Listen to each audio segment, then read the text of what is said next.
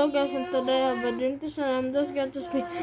In my dream, I saw there was, you know, like in my dream, I saw me and mom and sister Michaela, three of us. We were in a boat and speedboat. We're in a speedboat and we're just going towards, you know, like the it's we're going towards Jesus and we're going to heaven also.